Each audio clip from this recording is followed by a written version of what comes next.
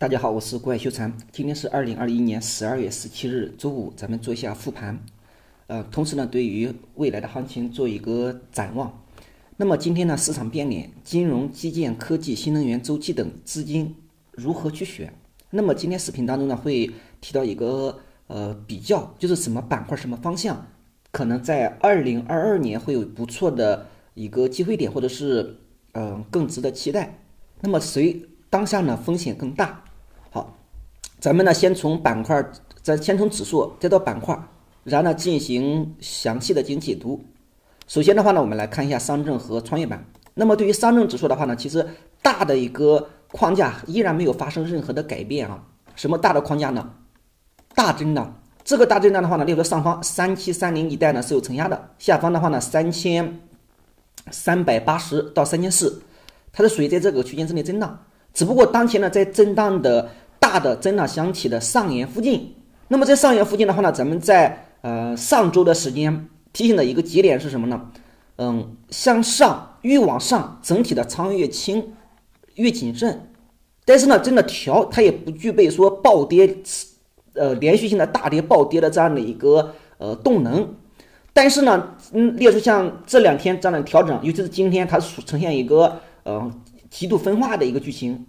近接近于白股涨停的同时，那么又呈现普跌的一个状态。在这种情况下的话，其实核心一个是节奏，操作层面是节奏，然后呢，嗯，战略层面的话是仓位，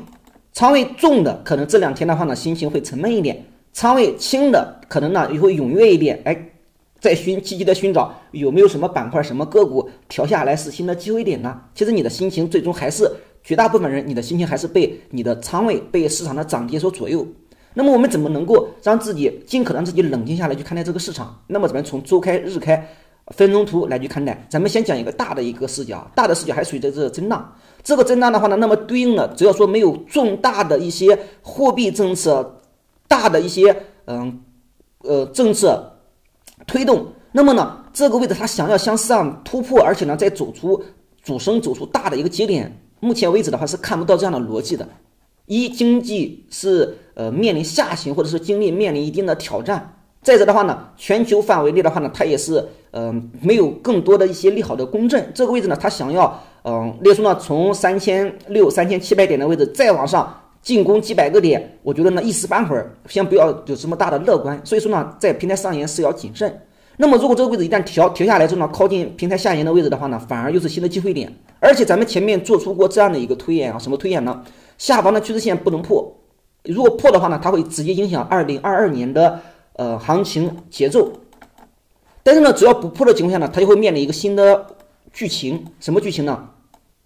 它完全可以作为一个日线的中枢的延伸，延伸的话呢，一旦上演九段升级。那么呢，它是是可以作为什么？作为由日线级别中枢升级为周线级别中枢，然后呢再走向上离开段，什么意思呢？从这个视角来讲，如果说这个位置震一震没有上去，而后往下来了，那么如果说调下来不破下方大的一个趋势支撑，给出日线的一个线段下三成的组织类型下，一旦调下来之后，它可能会面临更大的这样的机会点。那么它的机会点对应什么？对应了一个空间或者对应的一个结构什么呢？这个位置一旦把它作为周线的。作为什么？作为周日线级别中枢延伸升级为周线级别中枢的话，再往上的话呢，它是期待一个周线的向上离开段的。周线级别的向上离开段，那么对应的就是日线的走势类型。日线的走势类型，不管是日线的嗯盘整上还是趋势上，那么对应的话呢，例如从这个位置从两千四百四涨到三千二百八，那么这个位置它只是走了一个五日线的一个盘整上嘛？日线盘整上的话呢，那么对应的。它的一个节点呢是将近八百个点的这样的一个上涨的，什么意思呢？这个位置如果说按照这样的一个方式，就是后面在一个日线的线段下回落，或者是不破下方这个趋势支撑，然后呢作为日线的中枢延伸升级为周线级别中枢，再往上的话呢，那么列出它调整在以什么位置作为起点呢？列出在三千，好，列出的话呢在呃三千四上下，在三千四上下的话呢，那么对应的再往上的话呢，它甚至可以去。考验什么呢？从三千六、三千三、三千四这一带啊，就属于这个位置，就是一个回落下跌不破大的这样的趋势支撑线。这个趋势支撑线所在的位置三三八零附近，如果说在三千四百点附近的位置作为起点，涨加上了三千四加上八百个点的话呢，它实际上是四千二，甚至到甚至四千二、四千五一带了。什么意思呢？当然这是一种推演的视角，不是说未来一定会发生，只不过呢给大家相当于呃提供一个嗯思考，提供一个思考。那反之，如果这个位置破掉怎么办呢？这个位置一旦破掉，那么对应的中期的趋势一旦破掉，那么对应的它是走这样的一个嗯继续的。日线级别的向下调整，日线级别向下调整的话呢，那么少说以一个季度为单位，那么呢行情不会太好。所以说呢，当前还是大的震荡，但大的震荡的一个节点，这是从呃大的一个视角来去观察的啊。所以说呢，这个位置的话呢，其实保持平常心。那么我们再来看细节，列出从周开、日开和三十分钟、五分钟来进行多维度进行推演。所以说，对于当前的上证指数的一个。观察视角的话呢，短周期来讲，个人认为还不具备爆发的这样的一个呃时间。从时间上面来讲，认为呢这个时间不是特别对。为什么呢？每年的十二月份，它是不管是资金扎账也好，咱们前面其实讲到过，在十一月底的时候讲到，十二月份的话呢，它不太容易出现持续性的放量。这是每年的十二月份都可以有这样的一个时间窗口来去关照。所以这个位置的话，越往上越谨慎。但是呢，如果说后面真的调下来之后的话，看它调的方式。如果不是急，不是把这个趋势线跌跌破的方式，而是呢给一个三十分钟内三十分钟的呃类型下日线的一个线段下不破，那么作为中枢延伸升级，那么它可能是面临更大的一个机会，甚至主升都有可能。但是这是一个思考，这也是一种分类的思想。然后我们再来从周开日开，好，从周开的一个维度来进行观察的话呢，那么对于嗯本周它实际上一整周来讲都是一个嗯。高开低走，高开低走的话呢，那么对应的当前还在五周均线的上方。那么下周的话呢很重要，下周的话呢防范的是，就是这个位置呢阴阳，如果说它能够保持阴阳交替，还是好的。就这种下周的话呢，咱们前面也讲到它的一个呃中下方重要的支撑节点呢是在三千六一带。三千六的话呢，会大概的会有一个支撑，就从这个位置下探一下，最后还会有一个向上反抽的动作。但是后面向上反抽的话呢，看力度了。如果说能够阴阳交替，能够哎阴能够这样的一个反包的走法，它还有机会呢再往上攻一攻。但是呢，如果说后面反即便反抽了反弹了，但是反弹的量能比较弱，反弹的力度也比较弱，那么的话呢，也是要以震荡以谨慎的一个视角。那么比较弱的一个表达什么是是需要防范的。这个防范是什么呢？这个防范的节点就属于呃止跌，继续惯性继续往下，然后呢收在五周均线的下方，收在三千六百点的下方。这个位置一旦周线的顶分一旦成立，而且是强顶分一旦成立，那么防范的是周线的一笔下。这也是和咱们刚才是 K 线的一个一种推演的一这个呃公认。好，这是周 K 的一个维度。当前周 K 的话呢，先看嗯五周均线。好。那么我再看日开，日开的一个视角的话呢，那么剧情对应的话呢，咱们在这个位置、这个位置、这个位置讲到了，以上周四的阳线实体作为防守位，那么今天实际上是一个反包阴线，把上周四的阳线呢给覆盖掉。覆盖掉的话呢，实际上还属于就是空头。从当前来看的话呢，它还是属于嗯空头的一个强有力的反扑。反扑的话呢，从三千七百零八的位置以来，它实际上在走日线的一笔下。日线一笔下的话呢，但是下方为什么说三千六百点的位置一带这个位置只有个支撑的节点呢？其实要看什么？要看细节。这个细节呢，要看分钟图。但是它的当前的一个走法的话呢，从日线的一个层面而言，那么接下来的话呢，耐心等待日线的嗯一笔下的完成和强底分的出现，这是对它的一个剧情。好，然后我们再看从分钟图，分钟图的话呢，那么当前已经在走三十分钟线段下了。三十分钟线段下的话呢，那么对应的一个节点，这个三十分钟线段下的话呢，那么也是日线一笔下三十分钟线段下已经在生长当中，生长当中的话呢，那么对应的前面三十分钟线段上，当前走的是三十分钟的一个嗯线段下的一个表达。这个线段下的话呢，那么后面观察的一个重点是什么呢？从三十分钟的一个视角来讲，那么对应的前面呢，因为有一个呃中枢的一个可以用中枢扩张的一个视角来进行看待。看待的话呢，例如说在这样的一个节点，在这样的一个节点，在三千六一带，咱们这五分钟会看得更加的清晰。就是呢，这个位置大概率三千六百点附近，其实呢，现在三千六百三到三千六百点的位置也是啊，三十个指数点嘛。就是呢，嗯，往下就是向下的话呢，大概率在三千六百点附近还会有一个呃再度向上反抽的动作。那么多看力度，力度强好一点，多玩多玩两天，也是在平台大平台上沿；力度弱的话呢，逢高。仓位重的又给你一次降低仓位的机会点了。好，这是三十分钟。看五分钟的话呢，为什么说三千六百点一带还是有一个支撑的一个节点呢？我们来去手动的去画一画，从三千四百八十八点位以来，从两个视角，第一个视角的话呢是用趋势线的维度，三千四百四十八点位以来对应的。好，那么这个位置呢，当前还属于这个趋势线的趋势线的呃这个上行通道的一个趋势支撑，这个趋势支撑的话，当前位置还没有破，这是一个视角。第二的话呢，这个位置呢是把它作为一个五分钟中枢，好向上，好这个位置的话呢是可以把它作为什么呢？作为第二一个五分钟中枢，只不过呢，这个第二个五分钟中枢和前面呢它是有这样的扩张的，这是可以这样去处理，就那就扩张处理过之后的话呢，那么对应的上方在什么位置？三千六百点附近，这个位置一旦做一个处理的话呢，五分钟可以把作为这样的中枢扩张来进行处理，所以说呢，中枢上沿三千六百点一带。这也是为什么说这个位置在三千六百点一带，它还是有个支撑的基点，这是利用扩张的一个处理方式来去看待的。咱们前面呢是把它作为五分钟的中枢，嗯，延伸来去对应。好，这是用五分钟的视角。那么对于指数，然后呢我们再看创业板指啊，对于创业板指的话呢，那么对应了咱们近期对它的一个态度的话呢，一直是呃谨慎多一点。为什么呢？防范的是日线呢，这是一个中枢，日线中枢，这第二个日线中枢，向上离开段。现在离开段呢，进入这样的背驰段。如果说突破前面高点日线的大一脉，那么呢，它的对比方式是什么呢？它的一个对比方式是属于，好，我们来去呃细化一点，它的一个对比方式是什么呢？这是一个日线级别中枢，这位置是第二个日线级别中枢。好，那么它的一个对比方式是什么呢？这是一个中两个中枢形成过之后，当前这个位置是向上离开段，是进入背驰段。那么当前它的一个比较的一个节点。如果说这个位置，咱们前面讲的一个视角向上不能突破前面高点的话呢，是日线的大二脉，这个位置是一脉嘛，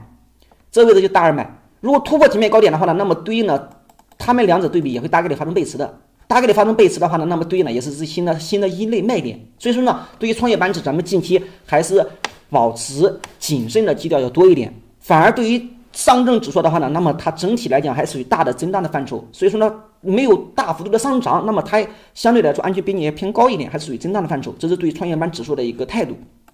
好，而且呢今天它是一个呃对应的，它是属于嗯反包的这样的一个阴线，反包阴线呢其实当前还是属于例如前低前高在这区间之内的话呢，还是这种震荡的一个视角。只不过呢，后面的话呢，对于这个方向里面，例如像今天走弱的，像半导体，包括像锂电池等等，就是呢，我们要知道一些板，如果说一些高偏高位的一些板块、一些方向的话呢，要保持警惕。好，这是指数的一个态度，这是大的一个视角和结构，小中期以及呢眼下怎么去判断跟踪，然后呢再看板块，板块的一个视角的话呢，例如说咱们先看大的方向，细节的话呢，咱们在后面的视频当中再去细讲。比如说呢，金融基建、科技、新能源周期。资金如何选择？分了几个类。列入到首先有一个态度的话呢，这是咱们近期讲的次数比较多了。不过呢，有的朋友可能嗯深以为然，也有朋友的话呢不以为然，没关系，只是一个呃观察视角。第一，新能源它是一个非常好的方向，但是是非常不好的位置。这是咱们前面讲多次的。对应的，例如说像像，尤其是像锂电。那么我们来简单的看一下啊，不管是光伏也好，还是说像呃锂电池也好，它方向是肯定是没得问题的。而且呢，未来几年来讲，像新能源，尤其是一些清洁能源方向的话呢，它是它已经是一个处于嗯时代的一个风口的一个一个地位上面来讲了。甚至说呢，从呃政策层面来讲的话呢，也是能够看到一些依据的。但是人家属于什么呢？前面走了一波又一波之后。你非得在这个位置去看好它，非得在这个位置呢去嗯坚持它，非得这个位置。其实当前这个节点的话和前面这个位置它有什么本质上的区别吗？没有。就当前这个位置和历史上阶段性的这个高点有本质性的区别没有？为什么说没有呢？一波主升过之后上涨量价背离，MACD 顶背离，一波主升过之后量能衰竭，MACD 死叉。然后呢，量能出现这样的衰竭，MACD 顶背离，那么它这样的一个位置的一个调整，这个调整的话呢，或许会迟到，但是它不会缺席，什么意思呢？像这样的一个调整，你看指数来讲，可能也没跌太深，对不对？但是对于这里面的一些个股来讲，它可能会面临腰斩，甚至说呢，甚至甚至说百分之六十以上的这样的跌幅都有可能。什么意思呢？对于大家可以举一反三啊，就是呢，在嗯未来一段时间，对于指数来讲，它不见得会出现过于巨大的这样的一个涨幅和跌幅，但是呢，这里面有的个股它可能依然会走主升，开始慢慢走好，也有个股的话呢，可能会面临腰斩，甚至说呢腰斩以上，所以说呢，这就属于这是一种常态。所以对于光伏板块指数来讲，方向是好的方向，但是呢，位置它不是一个好的位置。这个节点呢，它也是呈现量价的顶背离啊，包括呢，嗯，在这个节点，它就属于这样的一个背驰的一个状态当中。所以说呢，后面如果说调的更充分了，你再去把握它下一个机会点，在下一个机会点的话呢，那么我们来看，不要怕不给你机会，它前面调了之后，是不是每一次都有一个小的平台啊？先给你一个平台，给你一个平台，就是呢，先调调。够了，调深了，它会有一个磨底的过程的。那么当前这个位置，即便呢，即便呃分析过之后，后面它如果说后面又有消息驱动了，又往上冲一冲了，你追还是不追呢？我是不追的。但是呢，对于很多股友来讲，有的朋友，哎，你在这样的一个节点当中，其实在这个过程当中当中，它实际上也会此起彼伏。只不过呢，从板块从位置上面来讲，我只是对它的态度是属于好的方向，它不是一个好的位置，如此而已。既然不是一个好的位置，那么对应的话呢，你要么不参与，要么呢用极用很小的仓位，用什么呢？用这样的一个嗯，用这种超短的视角，你玩一玩也没也无妨。但是呢，这是对他态度。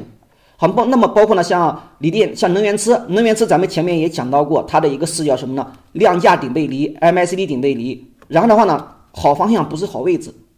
这就是它的一个视角，而且呢，不要小瞧它指数可能跌的没那么深，没那么快，真的有些个股分化是比较明显的。锂电池也是如此，锂电池呢，给大家讲到量价顶背离，MACD 顶背离，好的方向它不是好的位置，它不，它不经历非常非常充分的调整，它都很难有这种大的再次出现大的主升的机会的。所以说呢，这是一个方向，这是高度要警惕的，就是新能源方向，就是属于对应的什么呢？那么这里面。这几天走的偏强的，像氢能源，这个氢能源的话呢，当前它的结构来讲，它前面调下来靠近一百四十内均线，又走了一波，走了一波，这里面但是有一个节点，什么节点呢？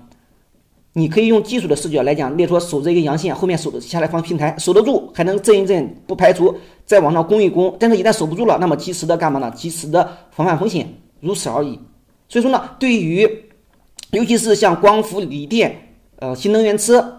当然了，能源车里面呢，它有很多分支啊，不管是汽车配件呀、汽车整车呀，包括呢像呃无人驾驶呀等等。但是呢，这里面像汽车配件里面，像无人驾驶里面，可能也会有一些哎局部的细节的方向，或者是一些呃局部的个股，可能也后面也会有机会，也会不断走强。但是整个板块，像新能源，像尤其是锂电池、光伏等等，它是属于好方向，不是好位置。当前的话呢，个人认为是属于风险大于机会，要警惕。好，然后呢，我们再来看。像金融，金融里面的话呢，一时半会儿我们来看啊，对应的，尤其是证券、保险、银行，这里面呢，咱们近期点评的多一点的是谁呢？是证券。那么证券板块的话，因为它它的对它态度呢是震荡，而且的话呢，大大周期震荡，小周期也是震荡，就是它的安全边际会偏高一点，但是它的持续性、爆发性的话呢，要观察、要跟踪，因为目前为止的话呢，它没有这样的一个持续性的量能的一个爆发。没有量能爆发呢，对于这个这样的板块来讲的话呢，用嗯低吸高抛，但是后面的话呢，不管是它这个位置会不会再跌下来，那么呢，随着时间的一个推移，越往后对它的关注度可以适当的增加。为什么呢？如果说想有行情，证券板块它一定会不会缺席，只不过呢，在它没有表现出来之前，你没有必要投出那么多的兵力去在里面耗着，因为什么？它有证券板块呢，历史的一个股性来讲，要么。一大波或者一波爆发式的行情，要么呢长时间的这种震荡，或者是嗯走弱，不管是走弱也好，震荡也好，就是特别特别消耗人的耐心的，而且呢对资金来资金来讲也是一个长时间的这样的占用没有意义。但是呢，如果说对应的量能能够保持住，然后的话整个板块它不是说零零零零散散的一只个股涨停，两只个股涨停了，然后立马又又歇菜了。而是一群有政背后呢有政策，然后呢，技术层面能看到资金，个股层面呢能看到那核心的风向标，你可以再这样去跟是完全来得及。只是呢越往后面对它的关注度可以适当的就是注每天观察一下，每天观察一下，如此而已。这是对于金融的一个态度，就是安全边际当前是属于震荡，安全边际从长周期来讲是偏高的，从短周期来讲它还是震荡。好，那么我们再来看，例如说。像基建，基建里面这里面重点以建筑工程为例，什么意思呢？对于基建方向，对于基尤其是建筑工程，咱们举一个就以嗯建筑工程为例，建筑工程为例的话呢，那么从中长的一个视角来讲，这一定是一个可以用可以用中线、长线的维度去关重点关注的一个板块了。为什么呢？嗯，不管是从经济的一个维稳的层面，还是说它本身的一个位置层面来讲，它调的比较充分，调的比较充分呢，当前位置比较低，位置比较整体的位置比较低，整体位置比较低的话呢，它的量能。近期的量能是有表达出来的，量能表达出来呢，它的一个位置来讲，又可以把它作为这样的一个平台的一个突破，平台的突破之后呢回踩这个位置的话呢，它对应了震一震。那么如果说用中长的一个视角来去观察的话呢，那么这里面应该能够挖掘出来一些好的一些呃机会点。但是呢，你要用这是一个中长的一个视角板块，因为短时间它的一个爆发性、持续性来讲的话呢，这一块儿呃需要去呃去去具体去看待、具体去跟踪了。而且呢，从从它的一个调整来讲的话呢，我们来看，这是一大波调整，日线的盘整下，日线的组织类型上，然后呢再往下的话呢，它这个里面是构筑这样的一个呃两个大的这样的中枢的，两个大级别中枢的话呢，那调整是非常充分的。那么当前的话呢，它是可以把它作为一个大中枢的向上离开段的回势，回势的话呢，对应的不管你是用用什么用这样的一个中枢的延伸。也好，还是属于这样的一个大平台突破之后回回踩确认也好，用传统视角，那么这个位置的话呢，量能又有明显的表达，所以说这样的个股的话呢，这样的板块它比较适合，或者说呢，已经从它当前的位置和它的量能来看，是能够看到一些机构资金已经在潜伏了。那么什么的板块容易走强呢？一定是有中长线的资金进来，它一一时半会儿不准备走的。你短时间你涨个百分之十、百分之二十，你跌个百分之十、百分之二十、百分之三十，有些资金呢，它进来之后它不走了。后面的话呢，不管随着时间的推移，消息或者政策还是干嘛的，最终呢，它慢慢的才能够走起来。所以说，对于建筑工程方向的话呢，那么后面还可以去呃做一个观察的对象。但是这个观察对象是中长期的一个视角，什么意思呢？就属于列说这是一个小的平台，这又是一个小的平台。那么短时间来讲的话呢，列说，哎，后面如果说给出这样的小调整，它可能面临小机会；大调整可能面临大的机会。但是你要用更大的时间跨度。不是说完过之后呢，哎呦，这个位置我现在能不能重仓去搞呀？能不能能不能满仓去买呀？如果说后面调了百分之十，调了百分之十五，整个板块哎调了百分之十几，你是不是又六神无主了呢？首先，这样的板块它当前的一个逻辑是什么？一个是不管是从政策层面来讲，那么明年的主基调还是以维稳稳经济也好，稳民生也好，还是说是嗯以稳字为主。那么建筑方向呢，它主要是当前的安全比例比较高。但呢，如果说后面出现新的主流的热点，然后呢有政策的一个推动，那么吸纳主流的资金，那么这个板块呢，它也可能会被资金的一个嗯一个阶段性的一个抛弃或者是承压。当前只是对它的一个态度，它的位置偏低，近期的量能保持的比较好，那么呢偏稳一些。好，这是嗯对于建筑工程，但是建筑里面的话呢，具体个股具体分析要结合它的业绩，结合它的一个嗯技术走势。好。再者的话呢，像周期方向，周期方向的话呢，对它的一个态度的话呢，咱们前面更多的强调的是什么呢？是底位周期。那么底位周期里面的话呢，不管像其实像上本周，包括近期，像煤炭、钢铁，包括稀土，其实都是有过轮动的，有过表表达的。只不过呢，它的一个表达在没有在嗯没有什么呢？没有期货市场的公认，或者没有这样的一个嗯。持续性的一个资金的表达，它只是一个超跌反弹，超跌反弹之后呢，后面可能还会有轮动，但是这里面的话呢，更多的还是以具体的技术走势。如果说有明显破位的，还没有止跌的，或者是呃叠加一些锂电池、能源池方向在天上飘着的，那么要远离。好，这是周期方向。周期方向里面的话，包括像像电力方向，它既属于周期，它也属于能源。新能源里面的话，电力是可以当成一个嗯后面呢中长期来讲可以反复去观察的一个板块和方向。好，再者就是科技了。科技的话呢，咱们对它的态度的话呢，是属于什么呢？对于嗯一些科技，尤其是尤其是前面调整比较充分的，然后呢，例如说像不管是像软件服务呀，嗯，包括的像创投呀，包括呢像这里面嗯数字货币啊等等，就说呢，它是一个很宽泛的一个方向。这个宽泛的一个方向的话呢，那么要结合具体的嗯，就呢核心考验的是自己的这样的一个择股能力。咱们前面给他讲的一个视角呢，一调整充分，二业绩呢有支撑，三近期有量能，三个维度，然后呢再按照一定的节奏去跟。这是对于科技，科技的话呢，那么未来它是此起彼伏，必有活跃。好，这是对于板块的一个思考。所以说呢，如果说大的环境接下来就接下来，如果大的一个环境，哎，市场趋于缩量，然后调整，实际上呢是更好的去挖掘未来的机会。但这个未来的机会呢，不是单纯的去预测、去猜测、去干嘛的，而是呢。哎，结合它的调整的充分程度，结合它当前的量能的表达程度，结合它呃某级别某类型买卖点的一个视角，这几个基本面的公正，只是呢去试机会。那么如果说真的市场涨了，那么什么板块主带动的？好，这是对于盘面的一个复盘啊，讲的算是嗯，更多的侧重于对于指数、对于板块的一个思考。后面的话呢，嗯，就是且走且看且分析，就是呢立足于当下。然后呢，以走势为根本，那么随着时间的推移，那么呢，不断的去校正对市场的认识，就是呢，你的认识只是当下基于已经走出来的走法，那么呢，随着时间的发随着时间的变化，走势的一个发展，那么呢，要不断的去校正自己，市场永远是对的，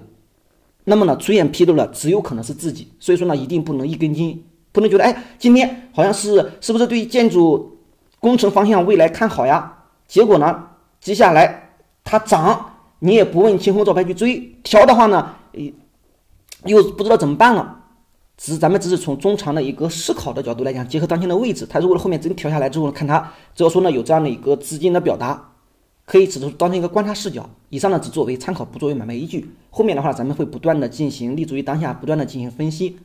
好，跟踪好，喜欢的朋友记得点击关注，欢迎积极的留言点赞，积极的赞赏，再见。